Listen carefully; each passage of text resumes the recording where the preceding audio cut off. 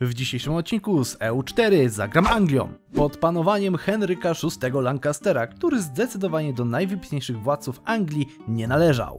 Zobaczcie, on ma same zera. Za jego panowania Anglia straciła resztę włości francuskich, a kraj był w takim chaosie pogrążony, że doszło do krwawej wojny domowej zwanej wojną róż. No bo wiecie, tu są te dwie róże i te dwie róże ze sobą walczyły. Piu piu! Ale co gdyby Henryk wykazał się jednak bystrością umysłu i zainteresowałby się wdziękami swojej pięknej żony?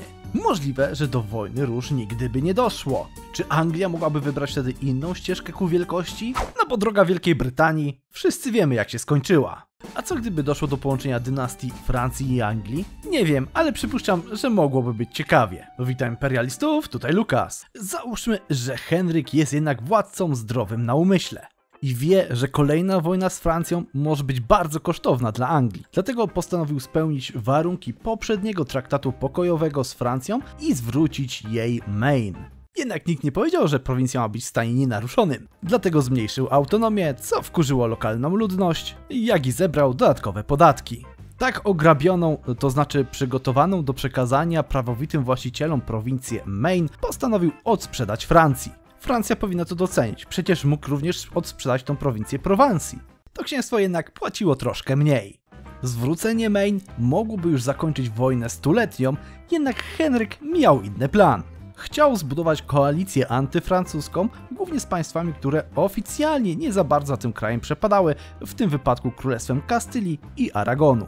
W tym celu sam ogłosił Francję wrogiem Anglii, dodatkowo oberwało się Szkocji oraz Imperium Osmańskiemu. Czym Turkowie zawinili, tego nikt nie wie. Trzeba było też zadbać o przywileje dla klas społecznych w Anglii, jednak był tu pewien problem. Angielska szlachta mogła zbierać ponadprogramowe podatki od chłopstwa, które nie trafiały do królewskiego skarbca. Żeby odebrać ten przywilej szlachcie, najprościej było zwiększyć ilość ziemi koronnej, co osłabiłoby na tyle szlachtę, że można byłoby odebrać im ten przywilej. Co złego może się stać? Przecież szlachta się nie zbuntuje. Jednak, żeby udobruchać stany, rozdał jeden przywilej Supremacy over the Crown. Do stanu kupieckiego wystąpił o tanią linię kredytową, a ta pozwoliła mu zwerbować wojsko. E, podczas zgromadzenia narodowego stan szlachty zdecydował, że fajnie byłoby, gdyby władca zapewnił siłę rekruta na poziomie 50%, w nagrodę dadzą tańszego ministra. Najprościej było to uczynić po prostu cofając rekrutację wojska i w sumie spłacając naszą tanią linię kredytową. Henryk wysłał lekkie okręty do pilnowania szlaków handlowych w Lubece. O dziwo wychodził na tym lepiej, niż gdyby ta flota pozostała w English Channel. Poza tym doszły go słuchy o pewnym Eryku z Gotlandii, który poznał pewną rudą piratkę i sam zaczął napadać na okręty w tamtym regionie. Ale to w sumie inna historia. Reszta floty została przebazowana na Morze Irlandzkie. Wiązało się to ogólnie z planami przyszykowania inwazji na Irlandię oraz Szkocję,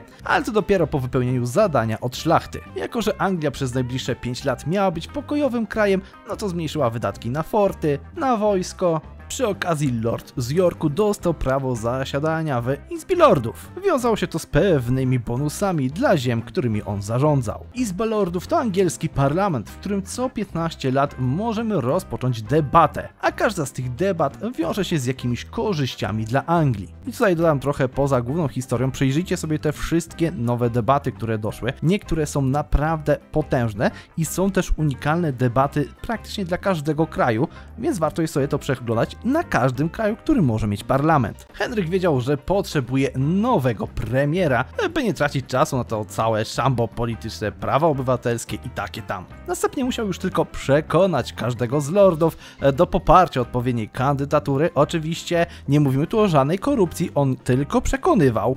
Jeżeli idzie o nasz dwór, Henryk raczej chciał prowadzić zrównoważoną politykę.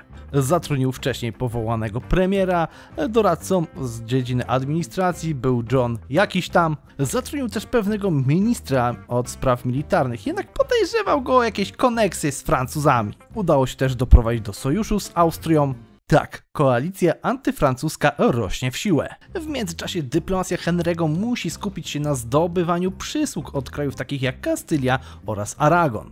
Mimo, że udało się zapobiec krwawej wojnie z Francją, no niestety w Anglii wciąż rosną niepokoje, lud pragnie dziedzica, szlachta pragnie dziedzica, Henryk jednak tak nie za bardzo, bo wiecie, dzieci to trudne wybory i takie tam. Mariaże królewskie, a na co to komu? Potyczki w Anglii. Potyczki to tradycja w całej Europie. Od wieków pozwalająca rycerzom popisywać się coraz większymi pałami. E, znaczy kopiami. W celu przyspieszenia inwazji na Irlandię dokonano dodatkowego poboru do wojska. Nasz król znowu wystąpił o tanią linię kredytową, i tak oto powstała armia gotowa dokonać inwazji. Dziedzic? A na co to komu? Wciąż mamy czas. Przecież nic nam nie grozi, a dzieci to jednak same wydatki. Po pół roku toczymy pięć wojen naraz. Nasze wojska oblegają praktycznie wszystkie siedziby irlandzkich lordów. Nowo zdobyte posiadłości jednak nie będą przyłączane do korony angielskiej, ponieważ Henryk ma troszeczkę inne plany względem Irlandii. Swoją drogą wpadnijcie na Nebę, mnóstwo okazji, mnóstwo przesen, zobaczcie w jak dobrej cenie jest Europka. Polecam, linki w opisie. Podczas wojen irlandzkich Henryk VI zmarł i niestety nie pozostawił potomka. Niespodzianka! W wyniku tego wybuchła wojna róż. Pretensje do tronu zgłosiły dwa potężne rody. Ród Lancasterów oraz Yorków. Kogo by tu wybrać? Coś przeczuwam, że ród Lancasterów powinien dalej rządzić. I znowu poza historią, Paradox znowu przywrócił możliwość podejrzenia statystyk buntowników, więc warto jest czasem tu zajrzeć. Niestety Królestwo Danii interweniowało i wsparło buntowników. Nasze wojska pod dowództwem Johna Talbota ruszyły na największą armię buntowników. Tak, zdecydowanie chcemy inwestycje w agroturystykę. Rebelianckie armie rozbite, a Richard York zbiegł z Anglii. Czekamy teraz na jego ponowne przybycie, a ten zebrał jakże mizerne siły ponownie w Yorku, a nie w Gloucester. W dodatku Norwegowie najechali Wessex. Całe szczęście w drugiej bitwie ginie Richard York, który w międzyczasie całkiem się dokształcił, a wojna róż dobiegła do końca. A w jej wyniku powstała nowa dynastia, dynastia Tudorów. I znowu troszeczkę poza historią, to wydarzenie jest bardzo ważne na Anglii, zawsze wprowadzajcie Tudorów na tron, ponieważ w wyniku tego dostaniecie w późniejszym okresie dwóch bardzo mocnych władców. Zakończenie wojny róż niesie dla Anglii wiele korzyści. Lojalniejsza szlachta, no i oczywiście nowa dynastia, to nowa czysta karta, więc mniejsza agresywna ekspansja. Niestety podbicie Irlandii dało mniej ziemi dla korony niż myślałem. Trudno. Herezja Lollarda. Nie mylić z herezją Loli. To nie to samo ale i tak ich musimy powstrzymać, bo to komuniści byli przeciwko kapitalizmowi. Aby zakończyć wojny irlandzkie, konieczne było dokonanie inwazji na stolicę Duńczyków. Śmiały ruch naszego nowego władcy. I tak oto upadło ostatnie księstwo irlandzkie. A jako, że Irlandczycy to dość dumny naród, trzeba rozpocząć debatę w parlamencie nad przyszłością Królestwa Irlandii. Czy powinna pozostać pod bezpośrednią kontrolą Królestwa Anglii, a może być pod Unią Personalną? Ryszard III zdecydował się utworzyć Królestwo Irlandii, wiedział, że nie będzie miał czasu na zarządzanie tymi ziemiami. Zwiększyło to prestiż po czasy Królestwa Anglii, dzięki czemu będzie mogła posiadać więcej państw wasalnych. Król Ryszard rozważał atak na Burgundczyków. Jednak ci byli związani sojuszem obronem z Królestwem Aragonu, czyli jednym z naszych koalicjantów przeciwko Francji. Dlatego odłożył tą sprawę na później zajął się sprawami umocnienia dworu. I tak będzie to miało wpływ na ziemię koronną. No nie, czas na lekki rozwój Londynu. Dzięki temu władza królewska stała się na tyle silna, że mogła pozbawić szlachtę tego przywileju. Ale żeby udrobruchać stany społeczne, król rozdał dodatkowe przywileje. Na punkty monarchii, które wzmocniły dwór, przywileje na tańszych doradców, u kleru dodatkowo wpływy papieskie oraz religijnych dyplomatów. Umieszczano rozdano przywilej na komercyjną flotę handlową, plus na zgromadzeniu społecznym król chciał zadowolić jedną z grup, żeby wiecie, ponownie odebrać im ziemię. Nadszedł też czas na podjęcie decyzji, czy uszanujemy traktat z Torus? Możemy go uszanować i podążyć drogą Wielkiej Brytanii, co pozwoli nam wzmocnić kraj wewnętrznie a może ruszyć gdzieś dalej. No ale tą historię to my już znamy. Zresztą Anglia przez ostatnie kilka lat przygotowywała się do wojny z Francją, zebrała sojusze, zbudowała armię, spłaciła swoje zobowiązania. Anglia nie może porzucić swoich andegaweńskich roszczeń. Dobrze powiedziałem. Teraz, kiedy Anglia dokonała wyboru, no, ma pewne cele do spełnienia. Rozpoczęto też prace przygotowawcze do aktu Unii. A czym on jest, to zobaczycie. Niestety w międzyczasie Królestwo Kastylii wplątało się w dość ciężką wojnę. Praktycznie z całym margrabem. Zostało Anglii tylko czekać. Na szczęście niezbyt długo i nasi sojusznicy odpowiedzą na wezwanie. Ta droga jest często wybierana przez angielską przecież doktrynę polityczną, że najpierw montują koalicję i dopiero potem ruszają na przeciwnika, prawda? Nasze wojska w pierwszej kolejności uderzają oczywiście na Szkotów i chcemy wyjąć z tej wojny jak najszybciej oraz zerwać ich sojusz z Burgundią, chociaż może niekoniecznie. Niestety nasze kontynentalne fortece nie zostały wcześniej przygotowane do oblężeń, ale to wina Ryszarda III, to nie moja wina, on powinien mi o tym przypomnieć. Szkoci po serii porażek zgadzają się na biały pokój, Francja wie, że walczy o życie i widać to po stratach, jakie zadaje koalicjantom. W międzyczasie dochodzą głosy na dwór angielski, że powstanie Unii tych dwóch państw niekoniecznie spodoba się sąsiadom. Dlatego nadszedł czas do wysłania naszych dyplomatów do uspokajania zewnętrznych krajów, jak i budowanie naszej siatki szpiegowskiej we Francji. Im prężniej będzie ona działać, tym lokalna szlachta będzie mniej krzyczeć za granicą. Bo na razie francuska szlachta jest dość głośna. Trzymajcie kciuki, żebym nie zapomniał wam pokazać, jak skuteczna jest to metoda. W międzyczasie nasz władca oczywiście nie zapomniał o tym, że Londyn trzeba rozwijać. Przecież to stolica europejska. Tym bardziej, że możemy w naszym kraju wprowadzić pewne zagraniczne idee. Bitwa o Paryż była naprawdę krwawa, jednak zakończyła się naszym zwycięstwem. Szwajcarzy się poddają, a w międzyczasie nasz władca reformuje ustrój, wzmacniając Izbę Lordów. Koniec wojny, Francja upadła, 900 dukatów leci dla nas i tak chcemy ją raczej zadłużyć. Zobaczcie, praktycznie żaden kraj nie wyjdzie do koalicji. O, pokazałem wam, tym razem pamiętałem. I oczywiście nasz władca wie, że musi jak najszybciej poprawiać relacje z Francją, bo jeżeli umrze i te relacje nie będą dobre, no to Unia dość szybko się zakończy. Burgundczycy chcieli wykorzystać okazję i zaatakowali Francję. Jednak Francja jest teraz pod angielskim panowaniem. Dlatego król Ryszard wezwał wszystkich swoich sojuszników do broni, do obrony Anglii. Angielski parlament jest gotowy do przeprowadzenia kolejnej debaty, jednakowoż Anglia może czerpać korzyści tylko z jednej reformy naraz. Dlatego przeprowadzimy ją później. Skupmy się na walce ze zdradzieckimi Burgundczykami. Wojna z Burgundią przebiegła dla Anglii bardzo pomyślnie. W jej wyniku zażądają zerwania sojuszu z Brytanią oraz Szkocją, gigantycznych reparacji wojennych oraz zdjąłem rywala, ale jak to fabularnie uzasadnić, to ja nie wiem. Po tej wojnie doszło do rozwiązania sojuszu z Austrią, bo ta była tak słaba, że nawet nie mogła być rywalem Anglii. Mimo wysiłków angielskiej dyplomacji, relacje z Burgundczykami nadal są bardzo złe. Poza tym Ryszard idąc za ciosem wypowiedział wojnę Brytanii oraz Szkocji. Królestwu Castelli się to chyba nie spodobało, bo zaczęło postrzegać Anglię jako zagrożenie. To może w sumie nawet być dobre. Irlandia uprzyjęła na siebie uderzenie Szkotów, to pozwoliło nam się skupić na podbojach Brytanii, która musi być pod bezpośrednim panowaniem korony angielskiej, jeżeli będziemy chcieli zamienić Unię personalną z Francją na Unię realną. Wymaga to po prostu posiadania dużej ilości włości w regionie Francji. I to jest największe wyzwanie. Obecnie mam 12. W międzyczasie książę burgundzki ginie, a że szlachta burgundzka, no to to jest totalny patriarchat, nie akceptują Marii na tronie, dochodzi do zawarcia Unii Burgundii i Szkocji. To jest chyba najgorszy scenariusz, jaki mógł się nam przytrafić. Dodatkowo możliwe, że Święte Cesarstwo będzie interweniowało. Zobaczymy, na co się zdecyduje. Czy Austria zrzeknie się terytorium, czy jednak rozbije to wszystko na mniejsze kraje.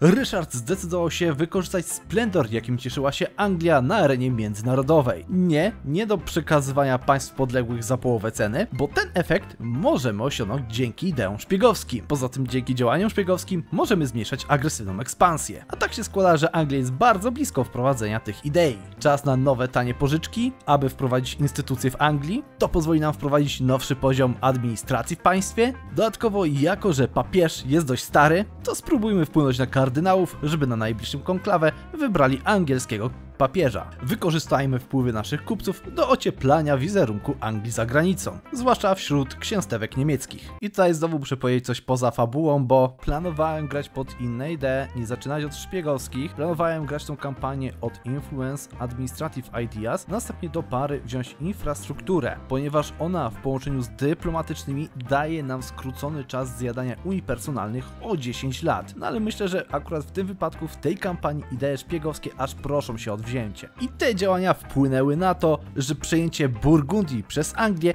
nikogo nie obchodzi. Great success! Szlachta burgundzka jest nawet zadowolona. Nasz król po tej wojnie wiedział, że przynajmniej przez 20 lat nie będzie nic podbijał, więc zajął się rozbudową handlu i gospodarki naszego kraju. Zaczął oczywiście od centrów handlowych, pod tym właśnie Anglia stoi. Ciekawe, czy jest jakaś debata w parlamencie, która zmniejsza agresywną ekspansję. Nadszedł wreszcie czas na przeprowadzenie debaty poprawiające relacje francusko-angielskie. Ta debata wpływa również na obniżenie kosztów doradców. Pewnie Francuzi zabierają rodowitym Anglikom pracę. Nadszedł czas na zmniejszenie autonomii, bo pamiętajcie, tylko i wyłącznie władza absolutna. Naprawdę, teraz, po tych wszystkich wojnach, abemus Anglish Papa. Tyle w temacie mam do powiedzenia. Anglia stała się na tyle dużym imperium, że nadszedł czas na wprowadzenie rad regionalnych, co ułatwi ściąganie podatków. Bo te są bardzo istotnym wpływem do budżetu angielskiego. Dlatego powołajmy te lokalne rady w każdej prowincji. Po handlu czas zająć się naszą produkcją, głównie warsztaty do takich dóbr jak sukno, kryształy i wszystko co nie jest zbożem i rybami. Po francuskich robotnikach nadszedł czas na bizantyjskich. Fajni ci doradcy, tacy tani? Ryszard zmarł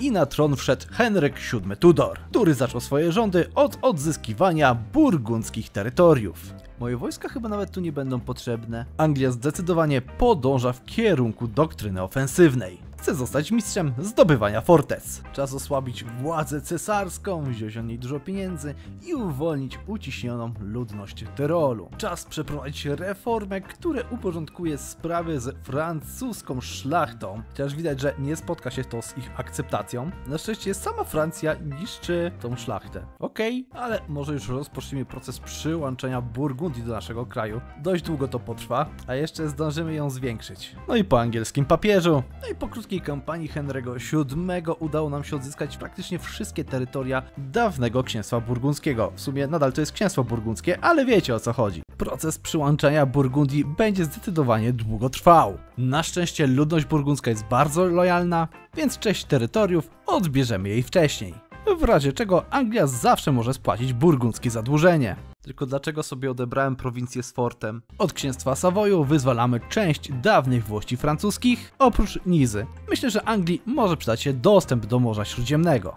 Tak niewiele już brakuje do aktu Unii. Niestety mamy problem z jednym wasalem. I to wasalem francuskim, bo nie jest to mój wasal, więc nie liczy mi się do wykonania tej misji. Super! Sędziowie pokoju? Myślę, że to może usprawnić pracę sądów. No nic to, pozostało nam tylko czekać i liczyć na to, że Francja przyłączy Nevers do siebie. Po zabezpieczeniu włości na kontynencie, król Henryk stwierdził, że wreszcie nadszedł ten czas, by zająć się sprawą Szkocji, no, która tak naprawdę została poświęcona na rzecz Francji i Burgundii.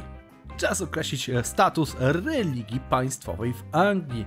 Czy wesprzemy Kościół katolicki, a może ściągniemy od niego dodatkowe podatki. Myślę, że mając aż tylu kardynałów, warto będzie wesprzeć go na razie w działaniach.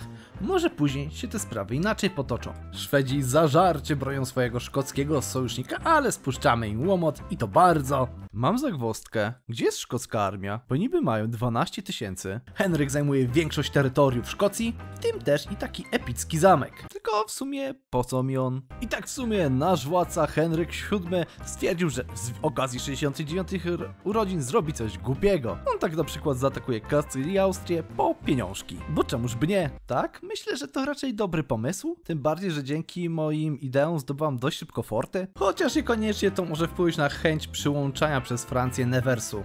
Jaki łobot mi spuszcza Hiszpania? To był chyba leciutki błąd? Tak, potrzebuję więcej ochotników do armii. Przeprowadziłem reformę podatkową. Hihihi, więcej podatków, lubię to. Uuu, muszę odkryć nowy świat. Filip I Tudor wreszcie wszedł na tron. Jest całkiem młody i dlatego tak długo czekałem z tą misją. No bo teraz jest znacznie lepszym władcą. 157 tysięcy ofiar zginęło, żeby nam wtrafiło półtora tysiąca dukatów do skarbca. Warto było. Angielski renesans. No dobra, troszeczkę późno, ale wreszcie jest i teraz dostajemy pewne wydarzenie. A Globe Theater, które nam daje minus 15% kosztów do idei, pod warunkiem, że mamy tu zatrudnionego doradcę ze stabilnością trzeciego poziomu. O, a ten modyfikator jest dokładnie tu, a nie, drugiego poziomu. Tak, czuję, że mogłem zrobić to szybciej. Na tron burgundzki wstępuje nasz bardzo utalentowany kuzyn. Dlatego Filip wziął swoją małżonkę i spłodził równie utalentowanego dziedzica. Raczej. I oczywiście Francja zaczyna zjadać największego swojego wasala i to nie tego, którego potrzebujemy. O, tego też zjada, tego nie. Dobra, szanse Nevaru rosną na zjedzenie. Dobra, nasz władca stwierdził, że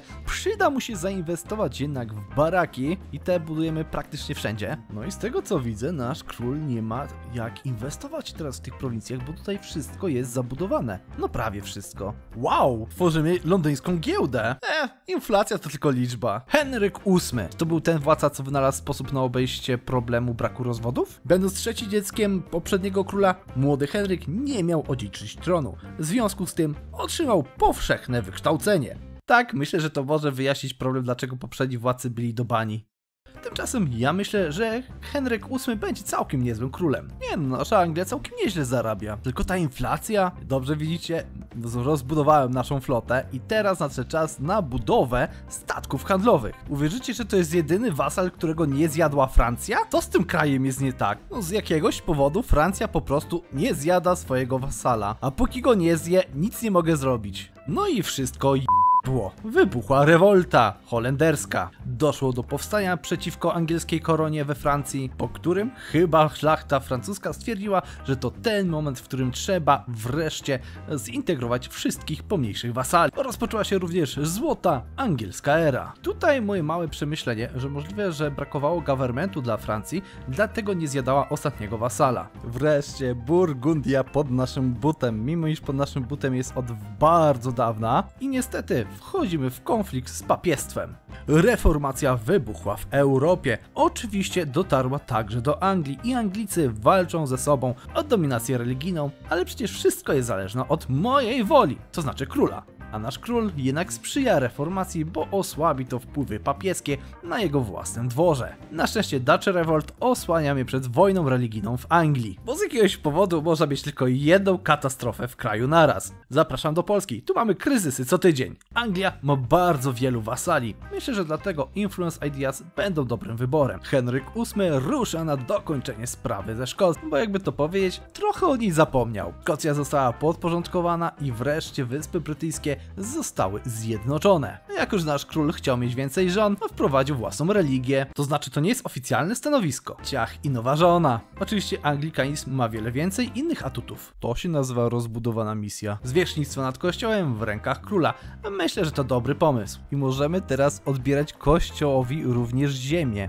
Okej, okay. i wiecie co? Prawie bym wszystko popsuł, bo mógłby papież oddać tą prowincję Francji, ale dosłownie brakuje mi jednej prowincji. Więc lecimy klasyczną wojnę z papiestwem. Kropka nienawiści w środku Francji. Ale jak to nie mam dyplomatycznej reputacji? Aha!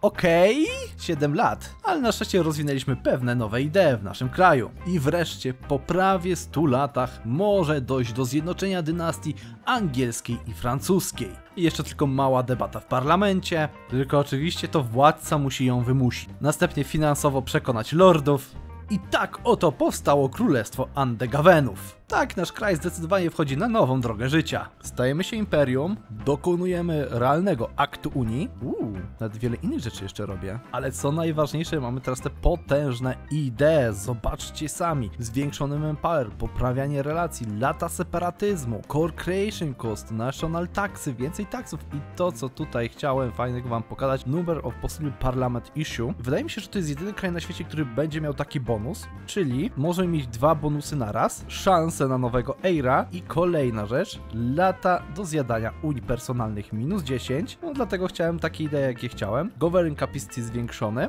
i końcu Year Legitimacy, to akurat najsłabsze, ale bardzo mocne idee do prowadzenia wojen, bardzo mocne. Co wcale mnie nie dziwi, bo na koniec mamy misję na zdominowanie całej Europy. A przed nami chyba teraz tak, zdobycie Unii nad Hiszpanią w momencie, kiedy będziemy mieli 15 prowincji w Iberii, przejście przez góry do Włoszech, i ich dalsze podboje. Cesarzem nie zostaniemy, ale możemy rozwiązać Holy Roman Empire. Ale zobaczcie, gdybyśmy zostali katolikami, bardzo łatwy sposób na dostanie poparcia jako kolejny kraj i dostajemy kolejny efekt parlamentu naraz? Wow, chciałbym powiedzieć, że nawet zarabiam więcej, ale tak niezbyt armii mogę wystawić 140 tysięcy, mam bardzo dużą flotę.